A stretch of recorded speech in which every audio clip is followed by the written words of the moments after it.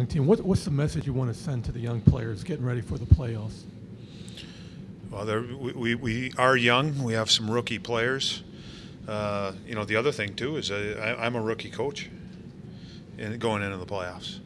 So it's a, I think it's a learning process for, for all of us, and for me, it's it's a focus. It's a getting prepared, um, and enjoy the experience. You know, this is what you work for. You work for these pressure moments, and, and you have to appreciate the pressure moments. And that's that's what it's all about. Sometime with a young team, is it an advantage almost that they don't necessarily know what it's like until they actually go through it? We've got to be ready, though.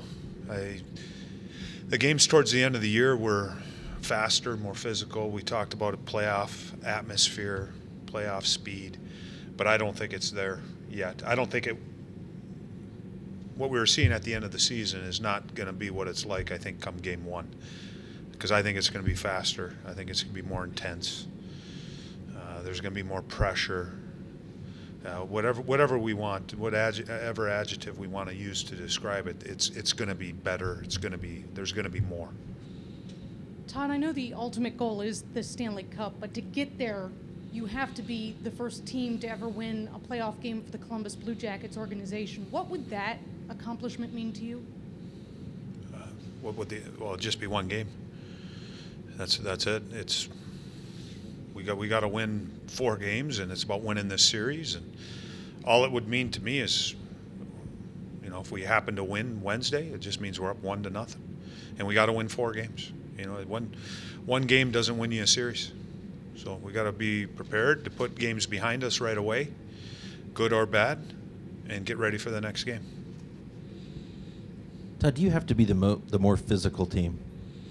in this series? Is that what you have to, to offer? Is that what you need to establish? You, you know, this the team that we're playing, I I guarantee you, uh, they've won a Stanley Cup, and they know what it takes to win. They've played in a lot of their players have played in big games, not only Stanley Cups, but they you know they have some players that just played in some big games uh, back in February. And I guarantee you, most coaches will go into the series or prepare going into Pittsburgh and they're talking about we got to be physical, we got to do this, we got to do that to get these guys off their game. Uh, they've seen it. They've seen it before. Uh, I, I, think it's part of our identity and how we play the game, and we we have to do that. But if we're going in with the mindset that we're going to try to physically intimidate or run them out of the building, that's not going to happen. It's not going to happen because they've seen it before, and they've over, overcome it we still need to do our things that we do well, and part of that is that. So it's it still needs to be part of our game. We know you lost um, all five games in the regular season. Was there something common that you noticed in any of those five games, or is it just five different losses in five different games? When we went back and looked at, at the five games, there was one game for us that we they, they were clearly the better team. And that was, uh, I believe, the back-to-back game. I think it was the first time we played them here uh, at Nationwide. We lost three to nothing. We didn't generate much. They checked really well. Um, but I think other than that, the other four games, and you'd like to do more offensively. You'd like to do more defensively. But we went back and looked and compared scoring chances, and uh, there, there wasn't a, much difference. Uh, their power play scored some big goals for them, and to me that was a significant difference. Uh, the other thing is that these guys are a rush attack team and uh, you know that's something that we have to address and, and, be prepared for. A lot of their offense is, is, is driven through their forwards going and their defensemen joining the rush. Is there any danger at all with as young as you guys are that you you mentioned physically intimidated? They wouldn't be. Is there any possibility that you guys could be intimidated? I don't think so because I think uh, the character in the room and the care in the room. Um, you know, there's there's going to be some things and some adversity that we're going to have to face some of it might be the first period in Pittsburgh. You know, kind of the unknown and, and playing our first game. Um, but that's what we have to overcome. But I don't I don't think that we are a team because of our youth that we're going to be intimidated because of, of physical play. What's the worst or what worries you the most about them? what they're capable of doing? offensively, what they can do. Uh, you know, especially if Malkin's in. You know, they got two world-class centermen, top line, first line centers that can. I mean, I call them three-zone players, where they can pick the puck up in their own zone and they can carry it down the ice and score. So you, you possess that, and I know Dan will sometimes use them together, which poses some problems. And then when you separate them, there's there's a couple guys that you have to pay attention to. It looked like you were teaching quite a bit at times this morning. Tweaking the system a little bit specifically for the Penguins, or just enhancing or dr- drilling home what's already been there? When you get into these types of series, I, you can really focus in more on what the other team is doing and what you need to do to counteract that. Whether it's their forecheck, their neutral zone, what, whatever it is. So we can get more specific with things. Whether it, it, it wasn't, it's not an overhaul. It's not, it's not changing anything. Uh, to me, it's pointing out little details of it. If we focus on a couple of these and we do them well, uh, again, as coaches, when we sat down and we were preparing for this, we believe that it, it'll help us in our game. It's been said by other coaches that if 87 and 71 end up on the same line, you know you're doing something right. In other words, that means they're struggling a little bit. You feel that way, and how important are your centermen to, to creating perhaps a situation like that? I, I, I don't know if Dan uses them because uh, I, I, what I find with Dan, at times when he uses them, I think some of it might might be dictated by what's going on in the game, but I think some of it is dictated also by uh, times and periods uh, when timeouts are coming and getting them both out on the ice, giving them extra time out on the ice, and also playing together where it becomes that threat. Um, our centers are going to have to do a good job, and you know we got I, I think four centermen that can do the job. And as far as matchups, I might be looking for a certain matchup, but there's going to be times playing in Pittsburgh where or you ice the puck that who's who's ever out on the ice are going to have to play against uh, either one or both of those guys. Todd, the uh, return of Chris Letang, what does that do overall to the matchup and your preparation?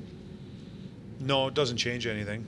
The, the one thing that he does do is uh, there's a real, a real NHL quarterback on the back of their power play. Uh, he can shoot it, but he distributes it, distributes the puck very well. Sees the ice, good vision. So, the, and he's a right shot, and you know, some so just being a right shot is is something that can pose some difficulties. Uh, he's also a guy that will help drive their team offensively. He's he's he's thinking offense. He's a, he's a good defender, but he's he's like most uh, defensemen that can skate and shoot. He wants to get up in the play and create offensively. Todd, I know Columbus fans have sort of been hoping for some rivalries to develop for this team. Is there any truth to the idea that you can't really have a rival though until you have a good playoff series? I'll have to probably experience a little bit more to, to let you know. I think there were some things that uh, happened this year, and I don't know where it goes from here, based on you know until we get into next year, or maybe we see a, we're fortunate enough to see a, a team in the second round. But when you do play back to back during the regular season, or you get into a seven game series, when you are playing each other more t- more than just three periods, some animosity can really build up. And I thought, you know, our, our game at home here against the Rangers uh, could set up for something like that. But when you play Pittsburgh, and there's going to be lots of Pittsburgh people in the stands, um, I, I think it's it could set up that way. Is it too early to know whether Foligno or Umby might make it back at any point in this series? We're anticipating them both being ready at some point in this series. Just don't know when. Ruled out for Wednesday. Yes. They won the season series. They've won Stanley Cups. Would do you think that they look at you as a viable threat to them? I don't think they overlook any opponent. Uh, again, the, the, the winners, teams that have won in the past, they, they know what it takes. And they got a, a very good coach. They got uh, good leaders on the team. I think they've been in many situations before. I'm sure they've been in a situation like like this before, as far as just playing against underdogs. And I'm anticipating them to be on top of their game and to come out and want to establish their game. Thanks. Oh. Yeah. What? Take us back to the hiring of Bylsma. You you hired him as an assistant under you in Scranton, correct? Yep. Um, what was that? How well did you know him before that? Why did you hire him? And just what does it mean now to be coaching against him in this in this setting? The way that that all kind of came about was I was hired in uh, Wilkes-Barre as a head coach, and I had interviewed a lot of uh, coaches for the assistant coaching position, and uh, Chuck Fletcher, who was the assistant GM in Pittsburgh at the time, I had spoken to him, and, and you know Dan Bylsma's name came up, and he spoke highly of Dan. Um, Dan had previously worked with him in Cincinnati with the with the Ducks, and then he was up in Long Island uh, with the Islanders, working with Bradshaw. I can't remember the who the head coach was. Um, and I got into a conversation with Dan, just an interview type conversation. The first thing I was struck by was his his he comes across as a very intelligent, uh, smart guy. Uh, his vocabulary and how he talks, he, he's articulate, and but hockey smart, and you know not just able to talk and use words, but hockey smart, good ideas, and uh, to me right away there was a clear difference, clear difference that of the other guys that I interviewed that he was the guy. And when I talked to Chuck Fletcher, Chuck kind of reaffirmed uh, what I was thinking, my thoughts. And he, you know, you can't go wrong with this guy. So then it became an easy decision. And I, I learned a lot from Dan. And that's part of it, you know, when you're coaching in the American League and still at this level too. You know, your conversations you have with anyone. You know, I even I even go to my to my son's game, and you can certainly watch things and pick up things, um, little details. Maybe it's a drill, and it gets you thinking about another drill. But Dan Dan was a defensive forward, uh, good penalty killer, and you know I was more of an offensive defenseman, and it it, it, it seemed to mesh pretty well. So he had good ideas, and you know obviously we shared a lot of those ideas, and you know you watch his team play and I think the way that we play are the things that we want to do, and it's different personnel, but I think there's similarities as far as how you want your team to play. What's your relationship been like through the years? Uh, we we talk. I got a lot of respect for Dan. Um, we don't call each other every day. Uh, I was fortunate enough and honored that he, you know he considered me to help him out in, in Sochi uh, back in February.